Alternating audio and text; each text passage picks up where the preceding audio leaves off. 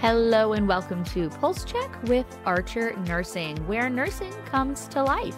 In this podcast, you give us 15 minutes of your day, and we'll take one complicated nursing topic and make it easy. Ready for nursing to be fun?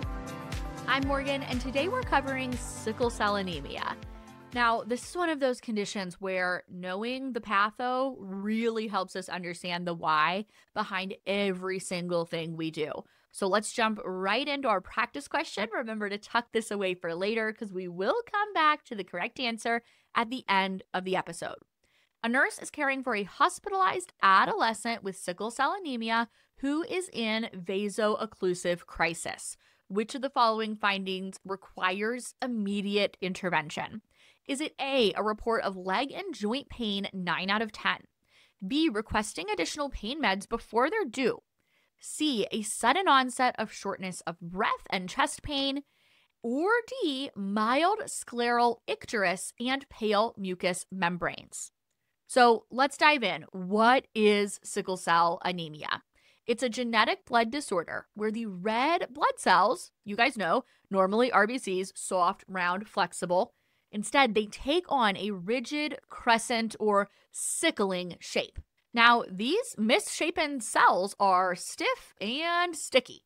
Instead of flowing smoothly through blood mm. vessels, they start clumping together and clogging up small capillaries, which can lead to vaso-occlusion. So, vaso is our vessel, our blood vessel, and obviously occlusion, they are blocked. This is a blockage of blood flow. Anytime blood isn't flowing, that means the tissues downstream from that flow they don't get any oxygen. So that starts causing a lot of trouble. Now let's go back to the basics for a sec. Why do we even have these sickling of cells? Well, remember, hemoglobin is the protein inside of red blood cells. That's what actually carries the oxygen. In sickle cell anemia, we said this was a genetic disorder, right? That hemoglobin is abnormal. Instead of having hemoglobin A, our normal adult hemoglobin, they have hemoglobin S. And under stress, this hemoglobin S can change shape to that crescent sickle shape, get rigid, and get stuck. So, stress, I'm talking things that increase our body's oxygen demand. I'm talking infection, dehydration, cold weather, high altitude. Anytime our body needs more oxygen, it's like, hey, hemoglobin, let's go here. Let's get inside these red blood cells and bring some oxygen to the tissue. It's too much. They sickle, vaso-occlusion, they get stuck. So the body, it ends up with fewer functioning red blood cells, chronic anemia, sickle cell anemia. That vaso-occlusion, that obstruction, severe pain and organ damage because we ain't getting oxygen out to the tissues. The red blood cells also just don't live as long as they should. Normal adult, about 120 days. Sickled ones, 10 to 20 days. The body is just constantly trying to keep up. And anytime the body needs more oxygen than it can keep up with, there is risk for a vaso-occlusive crisis. So this happens when sickled cells starts clogging up all those tiny vessels and blocking our oxygen delivery. We can't get oxygen to bones, our joints. That hurts really bad, super bad pain. We can't get oxygen to our organs, like our spleen starts to die. We have don't have oxygen going to our lungs. We start having trouble breathing. It is this like deep throbbing, stabbing pain, often described in the back, chest, abdomen, their bones. It is horrendous you know, 50 out of 10, the worst pain imaginable. And it can last days at a time. To make matters worse, there's not like a perfect lab or imaging test that can be like, yep, this is what's going on. And these clients require such high doses of pain medication to treat this sickle cell pain that they are often undertreated or misunderstood to be seeking drugs. That is a huge issue when we're looking at clients in a vaso-occlusive crisis. I saw this firsthand many times in the emergency department. What comes to mind immediately, though this is just one of many, is a 16 year old African American girl left school early, rode the bus to get to the emergency department because she knew she was having a vaso-occlusive crisis. Now, remember, genetic disorder, she has been diagnosed with sickle cell disease for years. She knows what this feels like, she knows what's going on. So she takes the initiative to get herself to the ED as soon as she can. She gets there and she is just writhing in pain. And to my dismay, the paramedics are not being incredibly helpful. They say that they already gave her some morphine, that it didn't really seem to touch her. She's specifically asking for Dilaudid. She says that's what works for me. And they're like, no, you don't get to request that. They're honestly kind of brushing it off because they think that that morphine should have helped. By the time I get into the room, she is curled up in bed, clutching her knees, moaning. I ask her her pain. She's like, nine out of 10. I'm like, girl, you look like this is a 50 out of 10. She can't eat, she can't sleep. She clearly is just so miserable. Quick review of her chart. I see she was here two months ago for the same thing. I can see exactly what we did, pain medication dosages, etc. So immediately I'm jumping into action here. My top three priorities are to manage her pain, get her hydrated, and get her oxygenated. Okay.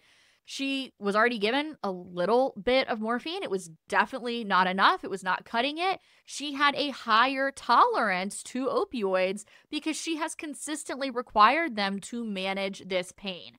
So we actually put her on a patient controlled analgesia pump where they have that button that they can press for pain and getting a baseline amount as well as those additional boluses. So that was my first priority to get set up. Usually, I tell you guys that pain is not a priority. Nobody dies from pain. In the case of sickle cell crisis, the pain is further worsening our problem here. Okay. The further pain that they're in, the lower oxygen delivery we have. It's using up all the body's oxygen to be in so much pain. So I've got to get that under control. That's what we use a PCA for. Second, let's hydrate her. Fluids, fluids, fluids. If I'm looking at this from an ABC framework, airway, breathing, circulation, we have a C for circulation problem. These cells are sickled and not getting out to where they need to be. Oxygen's not getting delivered to the tissues. That's causing the pain. If I can hydrate and dilute out some of those sticky, sickled hemoglobins, well, then I can deliver more oxygen to the tissues.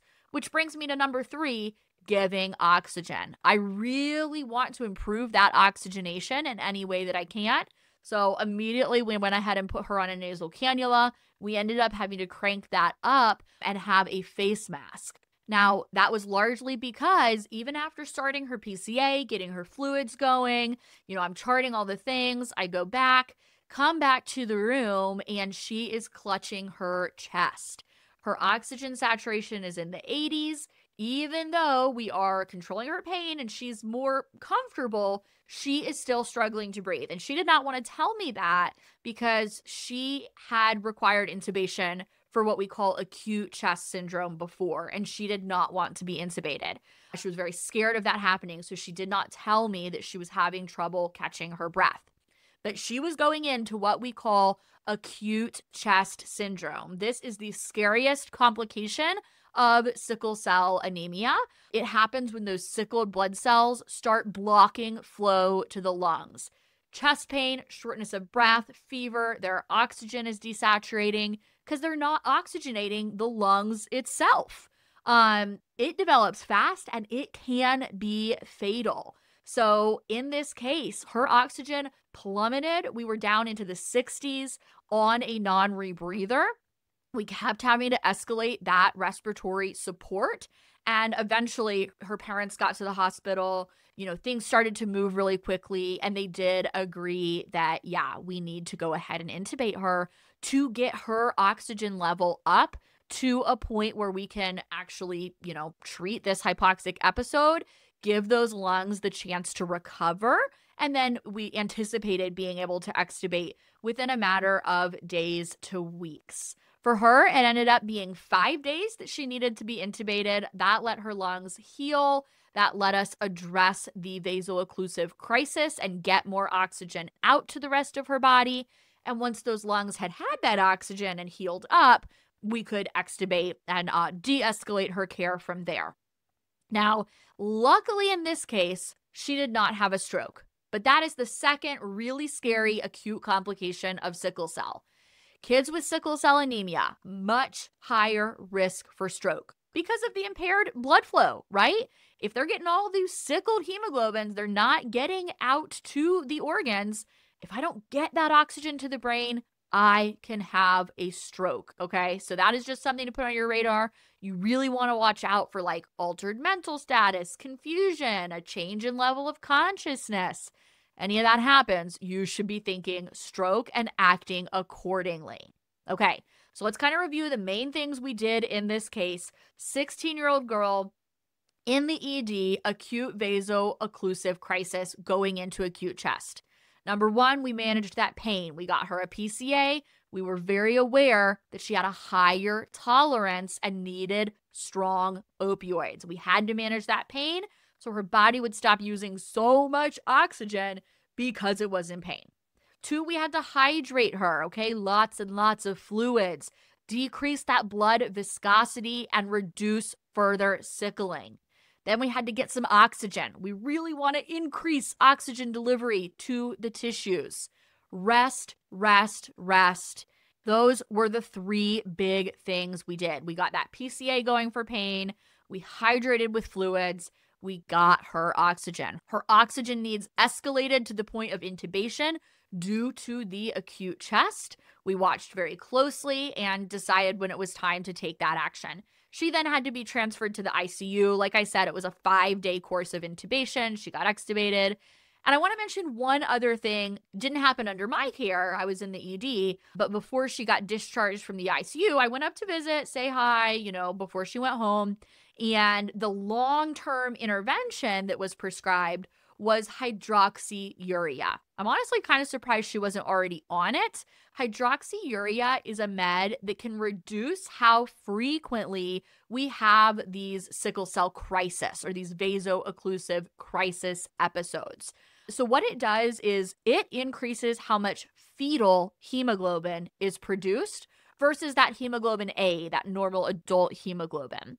And fetal hemoglobin doesn't sickle like hemoglobin A does. So it will have better hemoglobin, better oxygenation for the long term, reduce those episodes of a vaso-occlusive crisis. So, because this was her second crisis in I think two months, that hydroxyurea was prescribed long term.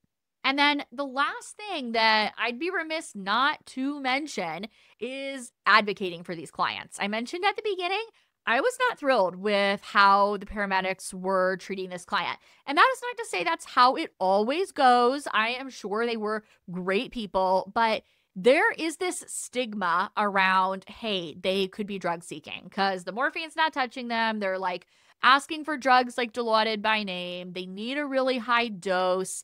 And that can lead to some bias, conscious or unconscious. And anytime we have that bias, it delays treatment and it worsens outcome. So be really aware of that, reading through that medical history, applying this patho knowledge. Because once you think about it, you're like, oh, they're literally having their blood cells sickled so that they're not getting oxygen to their tissues. That is massively painful. That informs everything that we do. This is not drug seeking behavior, and we need to act accordingly that can be easier said than done. And I like to do a lot of education, especially with my teenagers being discharged about this, because they need to be able to advocate for themselves too. So, all that aside, let's wrap it up with our original question. Hopefully, now you can come up with the right answer and understand why. So, a nurse is caring for a hospitalized adolescent client with sickle cell anemia. They are in a vaso-occlusive crisis. Which of the following requires immediate intervention? Is it that A, report of leg and joint pain rated 9 out of 10? B, requesting additional pain meds before they are due? C, that sudden onset of shortness of breath and chest pain? Or D, the mild scleral icterus with pale mucous membranes? Okay, think it through. Say your answer out loud with me. It is C, that sudden shortness of breath and chest pain. That is what happened in our client. She did not want to tell me she had chest pain. I walk in though, she's clutching her chest. Her SATs are in the 80s. This is acute chest syndrome. Happens fast, can become life threatening. So, this is immediate provider notification, okay? They probably are gonna need intubation. What about A? That joint and leg pain, 9 out of 10, that's horrible, right? Honestly, I expect that in vaso-occlusive crisis. We have to address it promptly. We have to manage their pain. But of this list, I've got something a lot more concerning. I have a breathing ABC priority. I'm going to address that shortness of breath. B, requesting additional pain meds before it's due. Again, really common. Clients that have this sickle cell, especially those with frequent crises, they develop a high opioid tolerance. They need aggressive pain control. And D, that mild scleral icterus, pale mucous membranes, the mild should give it away there that it's not our priority, right? Both of those signs of chronic anemia. This is somewhat expected in sickle cell disease, albeit I'll say that means it's not well managed and, and does prompt intervention. But those are not A, B, or C priorities, right? Those are things that we can address later after the shortness of breath and the chest pain. And that's really your key takeaway here is that this is more than just a blood disorder, chronic condition that needs proactive, compassionate care. The priority is addressing their pain. We're then going to hydrate, we're going to oxygenate, we're going to do everything we do to get oxygen out to the tissues while we monitor for those really scary complications of acute chest and stroke right, future nurses, that is a wrap. If you found this pod helpful, I'd love to continue supporting your nursing journey through nursing school, the NCLEX, continuing ed, and beyond. Archer Nursing has you covered on demand video lectures, high yield question banks, live case study reviews, and so, so much more. We want to help you master tough concepts and make it fun. So join us over at archerreview.com Follow us on socials at Archer Nursing for more free nursing tips and study resources. Thanks for tuning in to Pulse Check with Archer Nursing. I'm Dr. Morgan Taylor, and I'll see you back next time.